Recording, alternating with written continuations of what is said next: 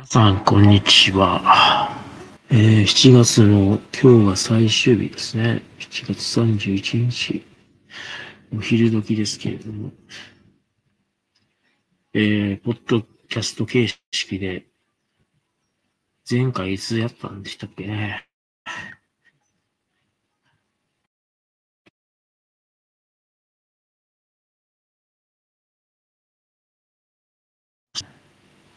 これか。7月、あ、6月21日に出荷済みで、その2、3日後に届いたんですけどね、これ。えー、インスパイロン165630。今これでお送りしているわけですが、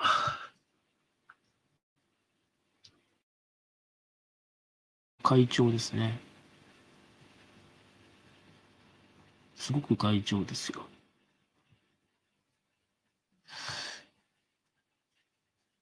今日は、えー、パソコンのその後ではなくてですね、え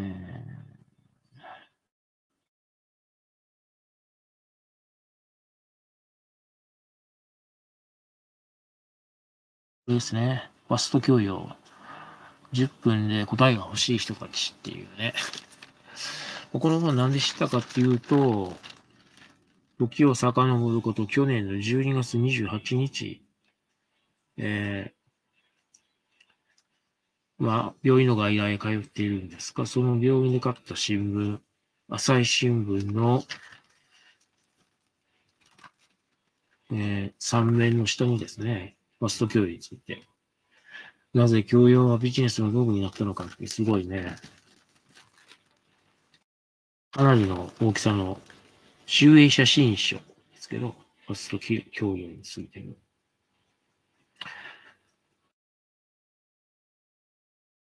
作者がですね、ライター、ブロガーのレジーという人らしいんですけど、ここに出てますよね。レジー。要するに、これの関連書籍としてはですね、ちょっと前にこれもね、2022年4月12日、ファスト教養は、半年ぐらい経って出たやつ。これとまあ似たようなものなんですね。映画を早送りで見る人たち、ファスト映画。ね、2時間の映画を10分にまとめたやつとか。ありますよね、インターネットでも、YouTube でも。それを見て、内容を理解した気になって、いうことをひねくった本ですけどね。早送りするセリフで全部説明してほしい人たちとか、失敗したくない人たちとかね。好きなものを快適主義という無関心なお客様たちとかね。これが私よかった。それのまあ第2弾かな、10分。どっちかっていうと、否定的な本なんですよね、これ。ファースト教育。ビジネスに役に立つ、が生む息苦しさの正体っていう。やっぱり、あれですね、書本、読書っていうか、そういう、こう、要約本が流行ってるんですよね。集英社の文庫でも、一昔前で、2、3年前、4年前かな。そう、ようやくシリーズっていうのがあったんですよ。トルストイとか。こう長、長めの本ありますよね。ロシア文学とか。そういう作家ご、作家ごとにまとめた文庫本があって、その一冊一冊は非常に分厚いんですけどね。まあ、それを読んだ、読むと、こう読んだ気になってるっていうね。でも全然違いますよね。あらすじはわかるかもしれませんけど。あらすじしたってね、どうしようもないんで。それがね、このファスト教養。明治の内容は YouTube でチェック。お金が稼げない勉強は無駄とかね。お金が稼げない、勉強は無駄って、まあ、どっかの省庁が言いそうなですけどね。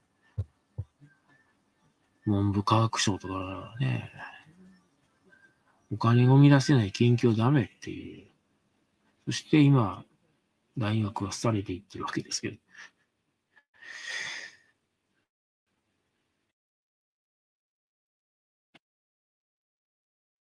否定しているようで否定しているんですよ。ファスト教育。堀江門とか出てきますよ。ひろゆきとかね。あの、中田敦弘の YouTube 大学だって、まあ、言ってみればそういうもんですよね。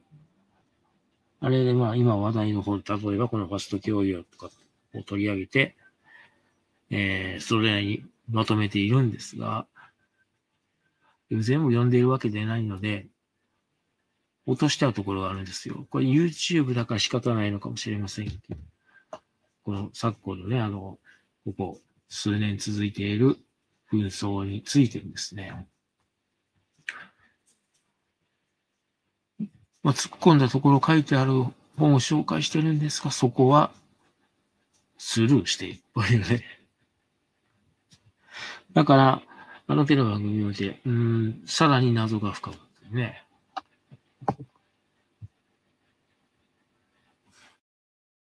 AKB48 とかね、ネオリベ。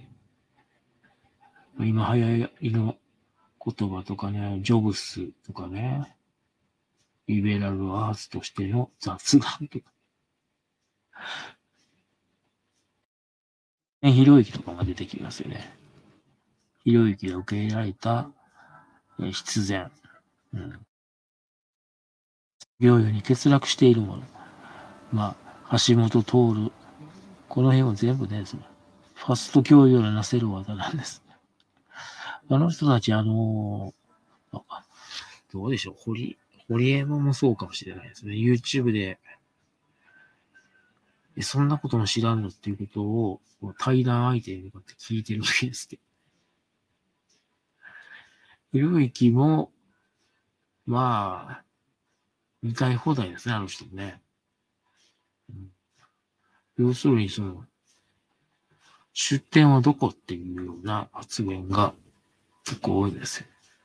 出店はどこって聞かれて、インターネットのなんとかっていう答え。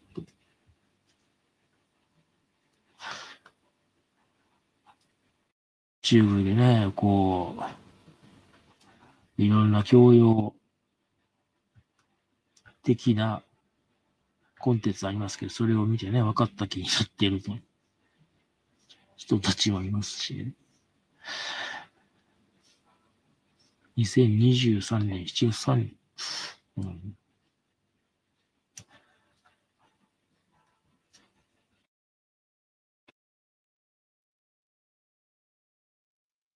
白いですよ。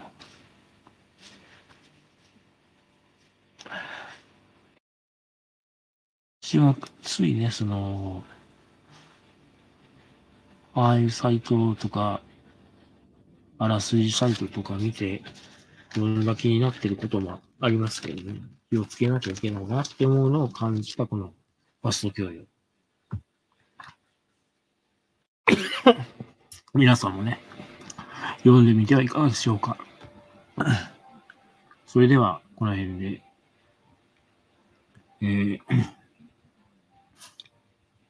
失礼いたします。